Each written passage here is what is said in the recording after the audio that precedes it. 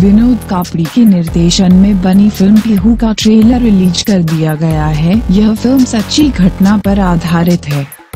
जहाँ एक दो साल की बच्ची घर में अकेली है और उसकी माँ घर के एक कमरे में मृत पड़ी है। यह ट्रेलर काफ़ी मन घबरा देने वाला है। फ़िल्म का निर्माता है सिद्धार्थ रॉय कपूर और रोनी स्क्रूवाला। यह 16 नवंबर 2018 को रिलीज़ होगी। ट्रेलर से साफ़ है कि यह फ़िल्म दिल दहला देने वाला है। दो साल की पीहू माँ की मौत के बाद अकेले क्या करती है और किन परिस्थितियों से गुजरेगी?